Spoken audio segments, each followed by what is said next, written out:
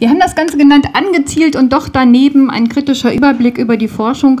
Und das Geheimnis dieser, dieses ersten Satzes werde ich Ihnen lüften. Meine Kollegin Frau Christ wird Ihnen etwas über unsere Arbeit zum Jahresthema erzählen. Das heißt, über den Auftrag berichten, von dem ich heute Morgen auch schon gesprochen habe. Forschung, empirische Forschung zu suchen, zu recherchieren, zu dokumentieren, aufzubereiten, die sich mit den Zugängen zu politischen Bildung befasst, wobei Zugänge ein nicht sehr gut zutreffendes Wort ist äh, und ganz viele unterschiedliche Facetten hat, die wir versuchen aufzudröseln. Jetzt lege ich das mal weg. Dann kann ich lesen. Okay, wir wissen, dass weite Bevölkerungsteile an politischer Bildung nicht partizipieren. Das ist heute deutlich nochmal gesagt worden. Sie bilden die Gruppe der Nicht-Erreichen oder gelten als schwer erreichbar. Und es ist in diesem Zusammenhang auch üblich, von Zielgruppen zu sprechen und Einteilungen vorzunehmen. Gemeint sind dann Menschen, die adressiert werden sollen von politischer Bildung und die aufgrund bestimmter Merkmale zu Gruppen zusammengefasst werden. Das ist das Neutralste, was man eigentlich dazu sagen kann. Es gibt in der Wissenschaft verschiedene Modelle, Zielgruppen zu konstruieren. Und in vielen vorhandenen empirischen Untersuchungen ist es in der Tat nach wie vor üblich, diese einzelnen Merkmale zum Beispiel als demografische Merkmale zu identifizieren von Teilnehmerinnen und Teilnehmern, Adressatinnen und Adressaten, äh, diese zu überhöhen und sie zur Grundlage einer Gruppeneinteilung zu machen. Und genau dann sind wir bei der Rede, die ich auch eingangs zitiert habe und wo wir, glaube ich, uns alle einig sind, dass sie für die konkrete Arbeit untauglich sind, dass also bestimmte Bevölkerungsgruppen nach Alter, nach Geschlecht, nach Bildungsgrad, nach ethnischem oder geografischem Hintergrund eingeteilt werden oder nach sozialer Lage. Eine weitere erfahren, eine Erweiterung erfahren diese Einstellungen in der Konstruktion von sozialen Milieus. Dann werden Gruppen von Menschen nicht nur anhand sozialer Merkmale, sondern auch anhand zum Beispiel einer ähnlichen Lebensführung, Geschmack, Freizeitverhalten, Habitus, Vorlieben oder Einstellungen zusammengefasst. Die Motive, Gruppen zu charakterisieren, sind unterschiedlich. Sozialwissenschaftlich gesehen werden damit Zusammenhänge konstruiert in der Art, dass Vorhersagbarkeiten oder Wahrscheinlichkeiten, also wenn dann Beziehungen entworfen werden. Eine solche Wahrscheinlichkeit ist die, dass wenn ein Mensch einen geringeren Bildungsstand hat, er wahrscheinlich weniger an, Politiker, äh, an politischer Bildung interessiert ist. Manche dieser Zusammenhänge sind stärker und damit wahrscheinlicher als andere. Einige Wahrscheinlichkeiten hängen davon ab, wie viele Faktoren man in Betracht zieht. Werden wenige oder gar einzelne Merkmale übergeneralisiert, sinkt die Wahrscheinlichkeit, die Beschreibung der Zielgruppe operationalisierbar machen zu können, also etwas vorhersagen äh, zu können. Für die Politik ist die Konstruktion von Gruppen wichtig, um beispielsweise Risikolagen und Ungerechtigkeiten erkennen und benennen zu können, wie beispielsweise die soziale Spaltung der Bildungschancen und deren Abhängigkeit von vor allem sozioökonomischen Bedingungen der Betroffenen. Und für pädagogische Zusammenhänge wie die der politischen Bildung ist das Wissen über die Bedingungen potenzieller Teilnehmender wichtig, um adäquat und zielgerichtet handeln zu können, sei es bei der Gestaltung von Angeboten, der Auswahl von Themen, Formaten, Methoden oder auch beim Umgang mit Personen, wenn das Wissen über deren Lebensbedingungen hilfreich für die Entschlüsselung ihrer Kommunikation, Lernen oder sozialen Bedürfnisse sein kann. Aber die Einstellung in Zielgruppen ist in mehrfacher Hinsicht problematisch. Die Rede von Zielgruppen beschreibt eine einseitige Perspektive von Anbietern, wir hatten das heute schon mal, zum Beispiel von politischen Bildungsangeboten zu Abnehmern, als wenn Gruppen angezielt und dann auch getroffen oder auch eben verfehlt werden könnten. Dem widerspricht ein Verständnis von Bildung als Selbstbildung und Koproduktion, bei dem die Bildungsgelegenheiten partizipativ und dialogisch gestaltet werden. Dem widerspricht auch eine unserer Meinung nach angemessene Haltung, dass politische Bildung nicht nur eine Anbieterperspektive einnehmen sollte, bei der sich Teilnehmer etwas abholen können, sondern selbst eine Bringschuld hat. Auch das hatten wir heute schon als Thema. Der Blick auf Zielgruppen verstellt häufig den Blick dafür, dass auch die Anbieter aus Sicht der Zielgruppen unterschiedlich wahrgenommen werden, da die Träger oder die Schule oder die politischen Bildnerinnen und Bildner selbst eine Nähe bzw. Ferne zu bestimmten Merkmalen oder Gruppenmerkmalen aufweisen. Fragt man also nach Zugängen oder auch Hindernissen, dann muss man nicht nur die Adressatinnen politischer Bildung betrachten, sondern auch Träger und Angebote charakterisieren, die Gelegenheiten zu politischer Bildung eröffnen und gestalten oder genauso gut ausschließen können. Man muss also deutlich auch die Exklusionsmechanismen gleichzeitig in den Blick nehmen. Die Rede von Zielgruppen meint häufig bestimmte Menschen mit bestimmten Merkmalen. Dieser Fokus kann den Blick auf die strukturellen Bedingungen und sozialen Lagen verstellen, die beeinflussen, ob Menschen politische Bildungsgelegenheiten nutzen oder nicht. Dies können zum Beispiel personelle oder finanzielle Ressourcen sein, örtliche, geografische Gegebenheiten, rechtliche oder kommunikative Vorgaben. Die Suche nach Gründen einer Nichtteilnahme, aber auch die nach Zugängen, sollte nicht dazu führen, dass die Gründe für das eine oder andere nur als individuelle Dispositionen thematisiert werden. Und auch hier wieder können ausschließende Bedingungen sowohl auf Seiten der Adressatinnen und Adressaten wie auf Seiten der Anbieter liegen. Und was entscheidend für die, und diese Frage danach ist entscheidend für die Frage, an welcher Stelle Veränderungspotenzial liegt. Also auch das hatten wir eben ähm, erwarte ich vom Teilnehmenden oder zu Adressierenden, dass er sich gefälligst bildet, ist das natürlich eine andere Frage als die Frage zum Beispiel nach dessen struktureller Bedingtheit.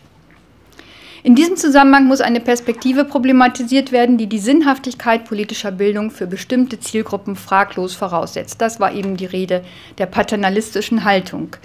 Demnach gäbe es keine guten, also rationalen Gründe für eine Nichtteilnahme.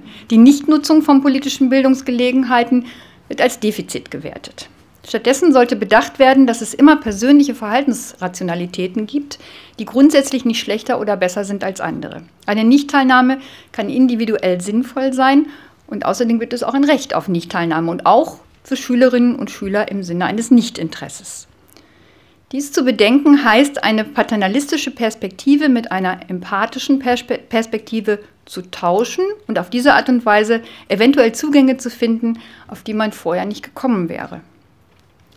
Einteilungen in Zielgruppen sind immer notwendig unspezifisch. Das Ziel der Beschreibung einer Zielgruppe oder eines Milieus ist es ja gerade, Gemeinsamkeiten zu benennen oder zu generalisieren. Sie treffen also nie voll und ganz das Individuum, das einer solchen Gruppe zuzählt. Dieser eigentlich, aller, dieser eigentlich allen bekannte Gedanke wird aber vor allem alltagssprachlich immer wieder konterkariert. Häufigkeiten und Überschneidungen von Definitionen führen zu alltagssprachlich gebräuchlichen Etiketten wie Politikferne, Bildungsferne, wir haben es schon erwähnt. Die sind aber wiederum aufgrund ihrer Unschärfe für eine Operationalisierung, zumindest für die Bildungspraxis, in der Regel wenig hilfreich. Sie sind sogar unzulässig, weil sie vereinfachen und komplexe gesellschaftliche und individuelle Lagen nicht gerecht werden. Die Absicht der Politik, durch die Identifikation bestimmter gesellschaftlicher Zielgruppen soziale Ungerechtigkeiten oder besondere Förderbedarfe erkennbar zu machen, gerät automatisch in einen Widerspruch, wenn diese Konstruktion zum Beispiel im Rahmen von Förderprogrammen zu einer Stigmatisierung führt. Auch das klang eben schon mal an. Das Gleiche gilt, wenn die Einteilung in Zielgruppen eine Fremdzuschreibung bedeutet, die Menschen mit bestimmten Merkmalen als deviant oder unzulänglich etikettiert und damit sogar diffamiert. Die Sensibilität gegenüber solchen Defizitzuschreibungen zeigt sich immer wieder in der Kritik, auch unserer Kritik von Begriffen wie Flüchtlingen, Behinderten, Migranten.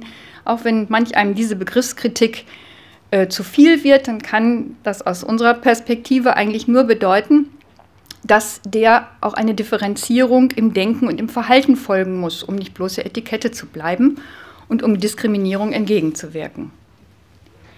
Fremd zugeschriebene Gruppeneinteilungen sind aber nicht nur diskriminierend im Sinne von lateinisch discriminare, also trennen, absondern, abgrenzen, unterscheiden. Sie beeinflussen nicht nur die Wahrnehmung anderer auf die vermeintlich einheitliche Gruppe, sondern sie führen auch zu Selbstzuschreibungen von Menschen mit bestimmten Merkmalen, der Klassiker, ich als Hauptschüler bin ganz sicher nicht als Adressat für Angebote politischer Bildung gemeint. Fremd- und Selbstzuschreibung führen zu einem nicht gewollten Ausschluss und verhindern das Nachdenken über adäquate Möglichkeiten der Öffnung und der Kommunikation. Und nicht zuletzt, die Einteilung in Zielgruppen führt oft schlicht und einfach in die Irre. So war man in der Diskussion zu Teilnehmenden oder Zielgruppen politischer Bildung in der Vergangenheit davon überzeugt, dass es vor allem diejenigen Menschen sind, die selten politische Bildungsangebote nutzen, die beispielsweise einen niedrigen Bildungsabschluss oder eine Migrationsgeschichte haben oder soziale Benachteiligung erfahren. Und dem stehen Erfahrungen der letzten Jahre entgegen, in denen gebildete, sozial gut situierte Menschen besonders prominent ihre Politikfeindlichkeit ausdrücken oder eine der Demokratie verpflichtete, vielfältige und kritische politische Bildung offensiv ablehnen. Die Frage also, welche Zielgruppen tatsächlich wenig erreicht werden und warum, muss genauer gestellt werden. Den sturen Blick auf die Zielgruppen als anzuzielende Gruppen, diesen sturen Blick zu durchbrechen, ist eine inklusive politische Bildung angetreten. Sie verlangt unter anderem, dass sich der Blickwinkel der politischen Bildung um die Wahrnehmung, um die kritische Wahrnehmung der eigenen sogenannten Schließungsmechanismen, einige sind genannt worden, Kommunikation, paternalistisches Denken, Habitus etc. erweitert. Sie fordert auch, dass politische Bildung ihren gegenwärtigen Radius erweitert, und zwar in zweierlei Hinsicht. Einmal sollte sie sich selbst nicht abfinden wollen mit dem, was der Fall ist. Und zweitens, Betroffene ermächtigen, exkludierende Grenzen aufzubrechen und legitime soziale Schließungen zu gestalten. Politische Bildung müsste dabei auch ihre eigenen fachlichen Grenzen durchlässig machen, sich öffnen für die beim Verändern von Verhältnissen gemachten neuen Erfahrungen, sich bilden lassen von ihren Adressaten und wenn es bei Inklusion um Teilhabe geht, dann muss sich das auch in den partizipativen Formen wiederfinden, in denen sie angegangen wird. Das war ein Zitat von Kronauer. Gefordert wird zudem eine genaue Überprüfung von Zielgruppenmerkmalen. Ist es das Merkmal Migrationsgeschichte, das den Ausschluss markiert, oder nicht eher zum Beispiel die Sprache oder die Art der Kommunikation? Ist es Politikferne oder die biografische Erfahrung von Arbeits- oder Perspektivlosigkeit, die für so eine Schließung wirksam wird. Diese Differenzierung von Differenzmerkmalen führt bereits zu einer veränderten Perspektive, welche die Anbieter und die Angebote einschließt und nach der Passfähigkeit von beidem zueinander fragt. Inklusive Pädagogik hieße aus pädagogischer Perspektive die Konstruktion von Zielgruppen im konkreten Fall immer wieder zu dekonstruieren.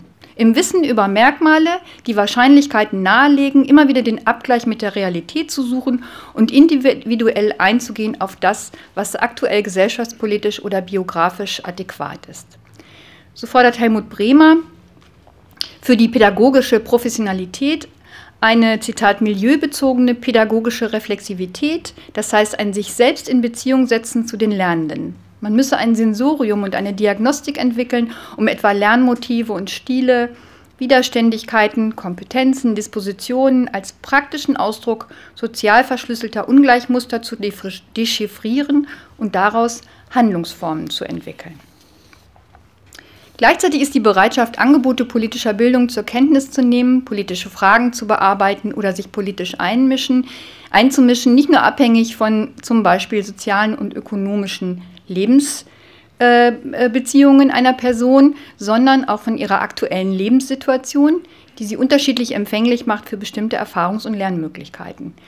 Auch das ist anschlussfähig an das, was wir bisher gehört haben. Lothar Böhnisch sagt dazu, Motiv, Anlass und Gelegenheit, hört sich an wie im Krimi, zum politischen Engagement wie auch zur Teilhabe an politischer Bildung müssen in einer günstigen Weise zusammentreffen.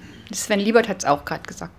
Von den Bildnerinnen kann dieses Zusammentreffen zwar nicht herbeigeführt werden, aber das Wissen um diesen Zusammenhang ist wichtig, um bei der Planung und Durchführung von Angeboten biografische Passungen aufzuspüren und unterstützen zu können. Eine grundsätzliche Sensibilisierung und ein ständiger Perspektivwechsel wären also nötig, wenn politische Bildung ihrem Anspruch, kein Elitenprojekt zu sein, einlösen will. Und gleichzeitig bedarf es einer intensiven Beschäftigung mit Ausschlusslinien und Anschlusslinien, die ähm, quer zu traditionellen Zielgruppenkonstruktionen liegen. Was heißt das für die Praxis und für unsere Tagung?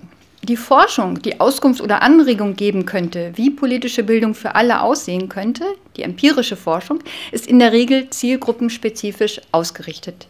Wenn Sie in der Nachfolge dieser Tagung oder auch schon auf unserer Homepage sich mal die Titel angucken, Barbara Christ wird es gleich äh, vortragen. 160 verschiedene Studien, die wir gesammelt und gesichtet haben. Dann werden Sie das deutlich merken, dass das, was ich jetzt gerade gesagt habe, angesichts der Forschung der Querbalken dazu sein sollte, wenn man so will.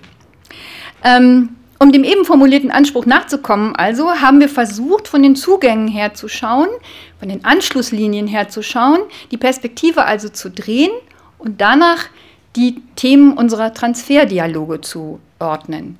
Nicht eingehalten haben wir die veränderte Perspektive bei unserer Online-Umfrage, die einige von Ihnen kennen und an der sich erfreulich viele 778 Menschen aus einer großen Bandbreite, aus sehr verschiedenen Arbeitsbereichen beteiligt haben. Wir haben im Vorfeld und im Laufe unseres Jahresthemas uns selbst die Frage gestellt, wer sind denn schwer erreichbare Zielgruppen und haben sie dann weitergegeben in die politische Bildung, wer ist denn für Sie? Welche Zielgruppen sind für Sie die schwer erreichbaren, um welche müsste sich die politische Bildung stärker bemühen? Barbara Christ wird gleich zu den Ergebnissen etwas sagen. Man kann aber ganz deutlich sehen, dass die Fragen bereits vor allen Dingen in den freien Antwortmöglichkeiten ein hohes Maß an Sensibilität und Bewusstsein der Antwortenden spiegeln. Denn immer wieder wird uns gemahnt, dass bereits unsere Frage schon falsch war. Nämlich sich den angebotenen, also man hat sich verweigert, sich der Logik der angebotenen Kategorien zu unterwerfen und hat diese kritisch hinterfragt. Ursprünglich wollten wir ein Meinungsbild ähm, wer denn schwer erreichbare Zielgruppen für die politische Bildung sind. Herausgekommen ist ein äußerst differenziertes und differenzierendes Bild. Und neben wurden für ganz spezielle Gruppen, auch solchen, die wir gar nicht aufgelistet hatten, gab es häufig Antworten, um wen sich politische Bildung besonders bemühen sollte. Um alle. Sie sollte sich um alle bemühen, alle müssen ständig die Demokratie stärken, ist eine Antwort gewesen.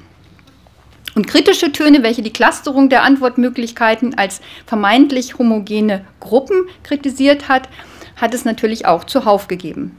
Beide Argumente sind richtig oder beide Vorgehensweisen sind aus unserer Perspektive richtig und zeigen, dass wir uns bei der Frage nach den tatsächlichen und möglichen Teilnehmenden und Nutzerinnen politischer Bildungsmöglichkeiten in einem Prozess befinden, einer Dialektik vielleicht, vielleicht auch in einer Art Spiralargumentation, jedenfalls in Bewegung und auf dem Weg.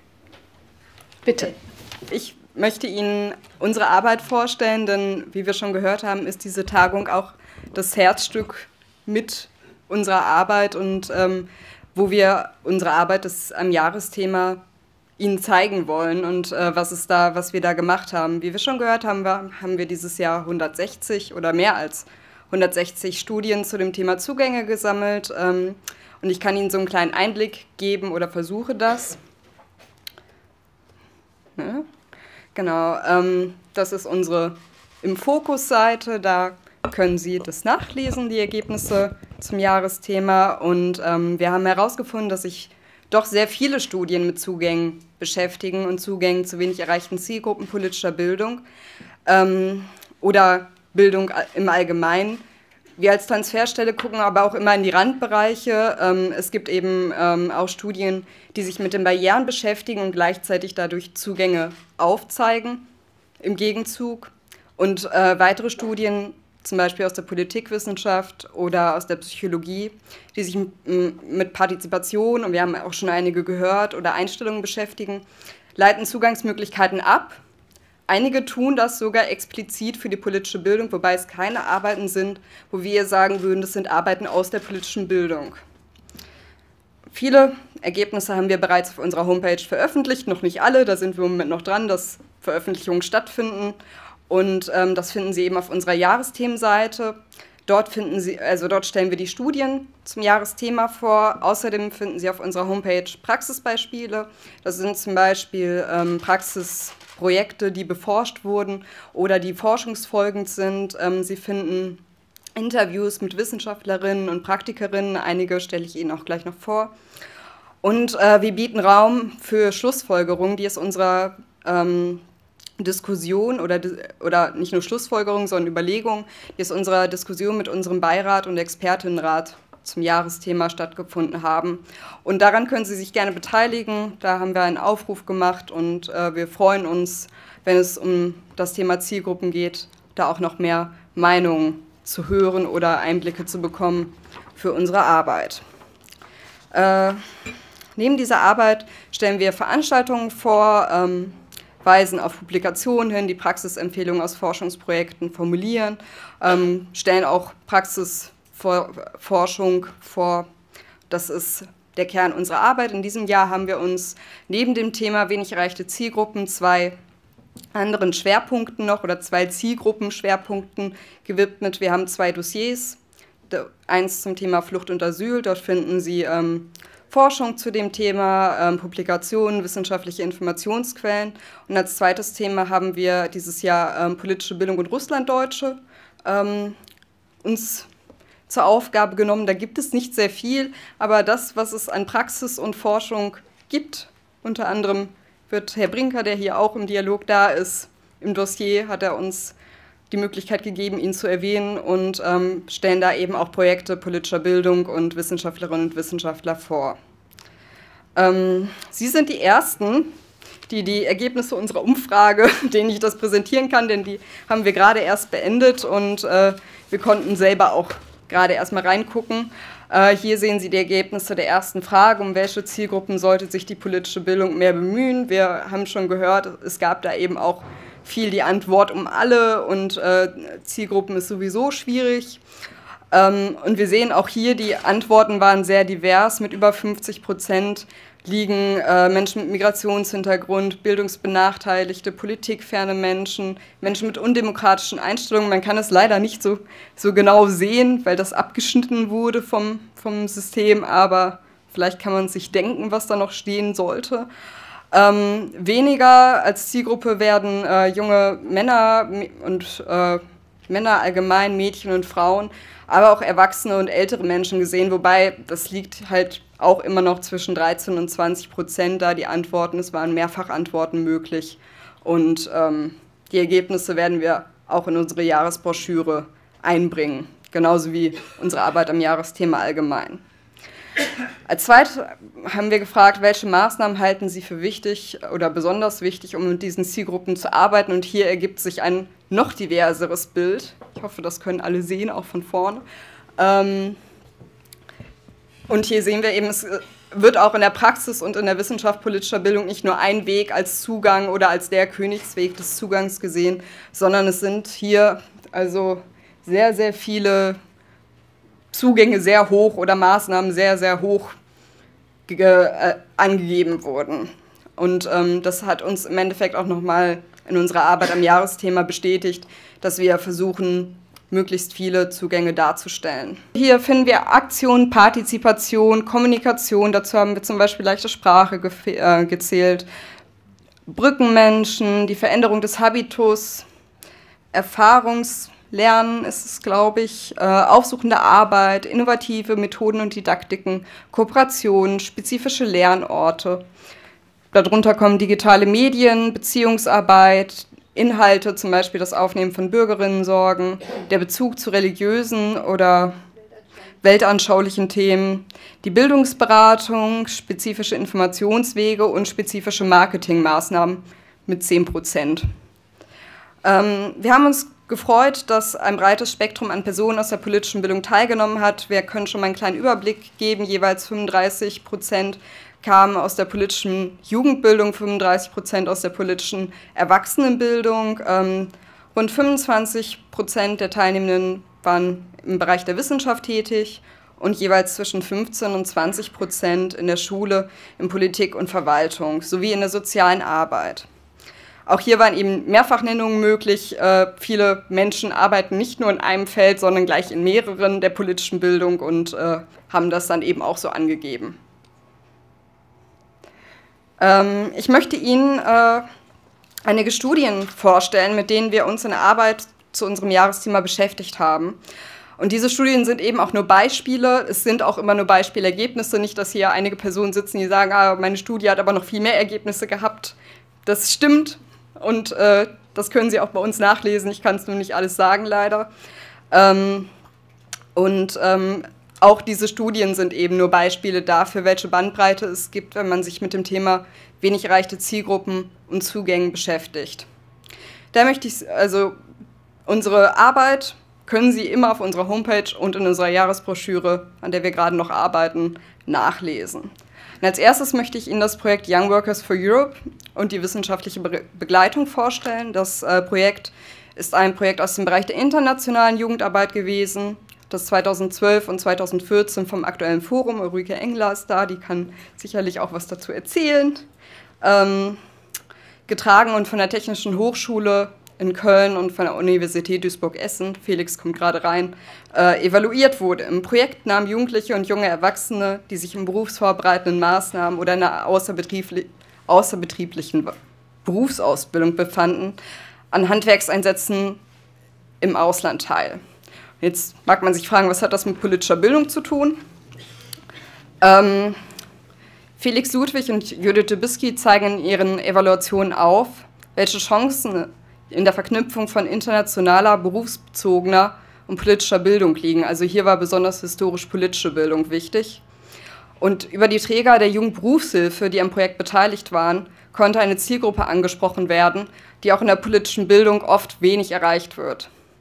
Auch die unterschiedlichen Methoden und die Arbeit vor Ort wirkten für den pädagogischen Prozess positiv, so zumindest die Ergebnisse der Evaluation. Und äh, insbesondere der Abbau von Vorurteilen durch die Begegnung mit den Menschen im Ausland und der Beitrag zur historisch-politischen Bildung können hervorgehoben werden. Für die praxispolitische Bildung geben beide Autorinnen Hinweise, wie die Verbindung unterschiedlicher pädagogischer Elemente gelingen kann und was dann auch für zukünftige Projekte wichtig wäre.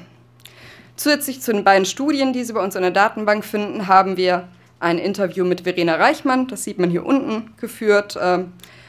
Vom aktuellen Forum und die hat uns berichtet, ähm, wie dieses Projekt und die Auswirkungen des Projektes beim aktuellen Forum nachwirken und welche Rolle die politische Bildungsarbeit da im Projekt spielte.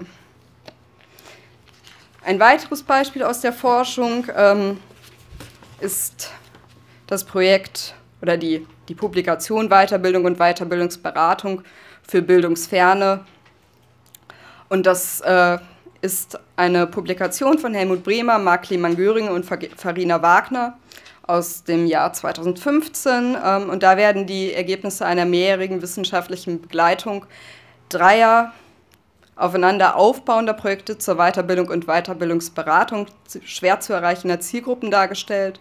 Und die Projekte fanden 2009 bis 2014 an vier Projektstandorten in Nordrhein-Westfalen statt und äh, sie zielten darauf ab, neue Konzepte, Angebote und Vernetzung zu entwickeln und aufzubauen.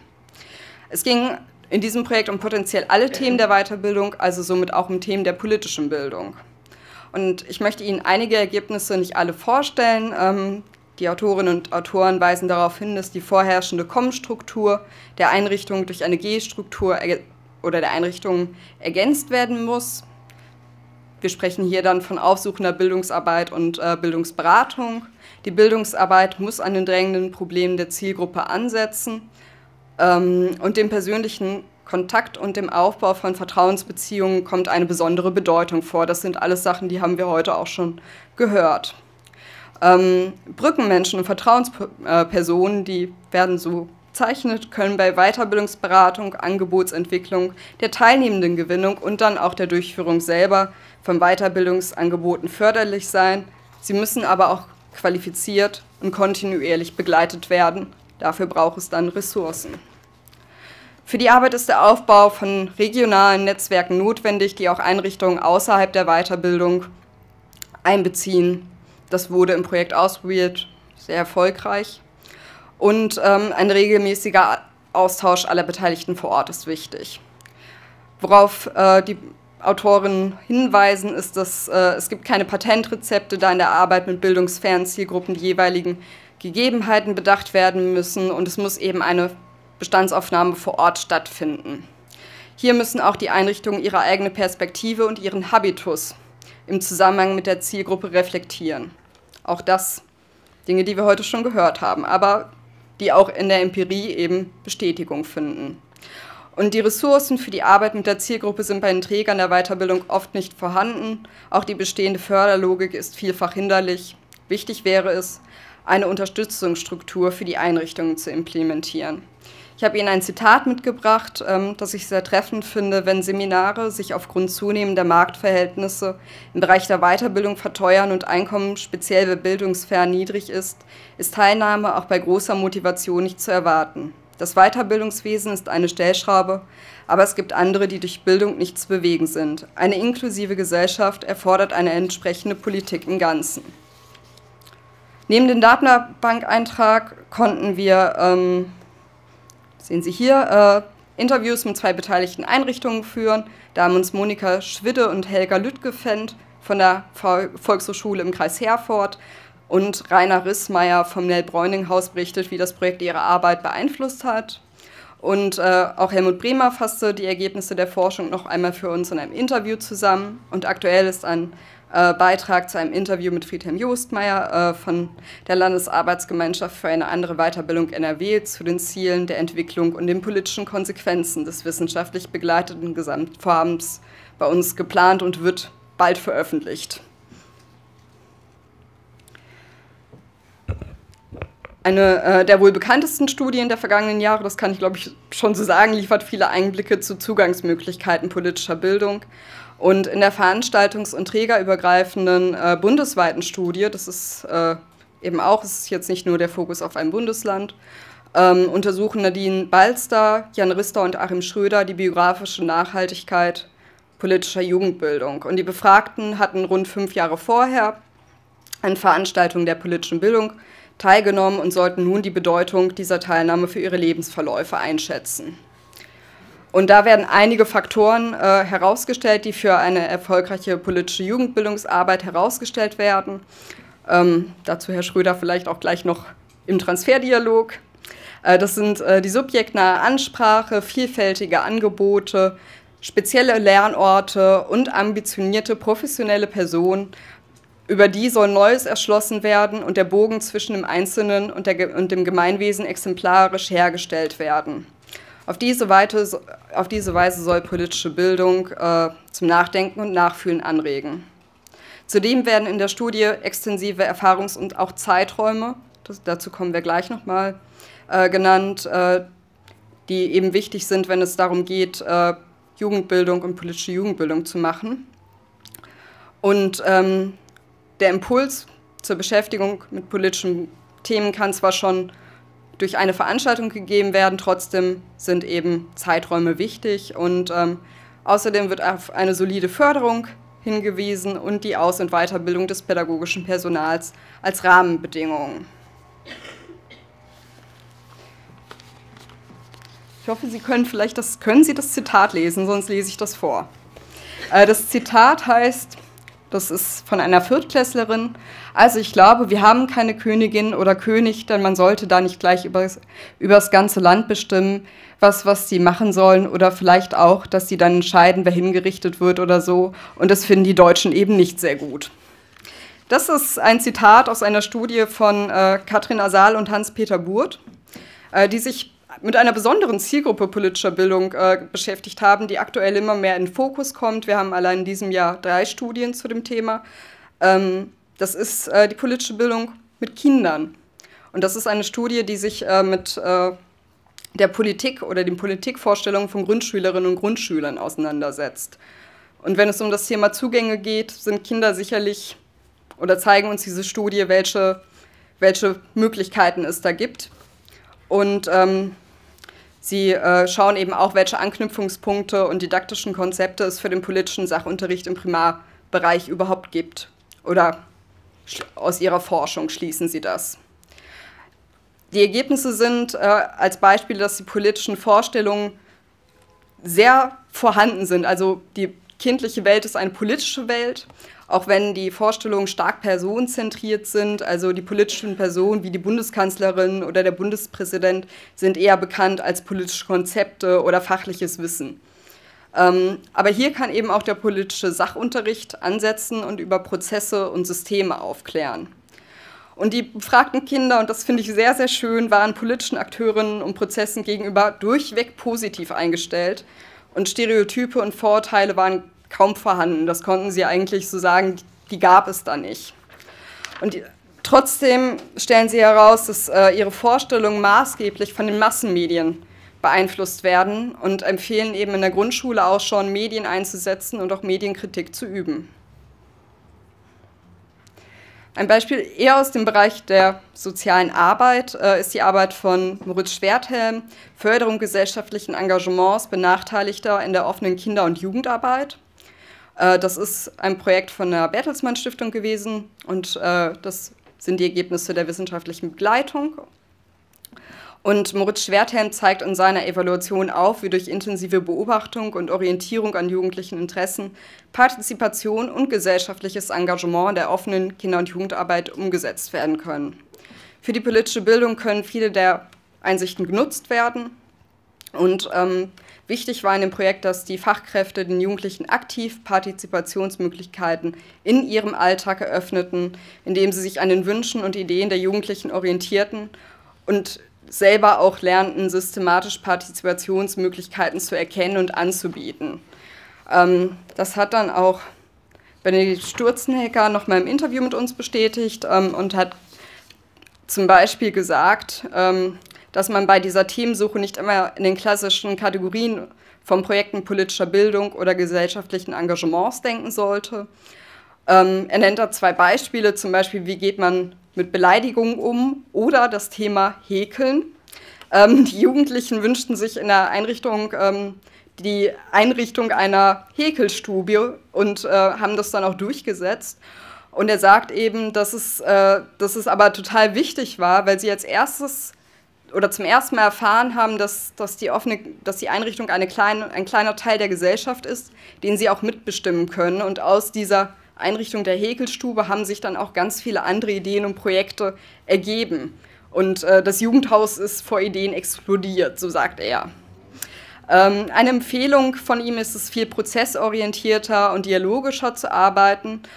Und ähm, es gab eben auch Effekte nicht nur auf die Kinder und Jugendlichen, sondern auch bei den Fachkräften, die eine ganz neue Freude am Beruf entdeckt haben und auch die Grundaufgabe von Jugendarbeit wieder entdeckt haben und erlebt haben, was man eigentlich mit den Kindern und Jugendlichen noch machen kann, wenn man sich darauf einlässt, ihre Themen eben aufzu, aufzugreifen und das dann auch umzusetzen. Er sagt, dass die Fachkräfte, und das ist auch die Überschrift, die Fachkräfte müssen die offene Kinder- und Jugendarbeit wieder als Feld politischer Bildung erkennen. Eben auch als ein Ort, wo politische Bildung stattfindet, den wir vielleicht nicht immer auf dem Schirm haben.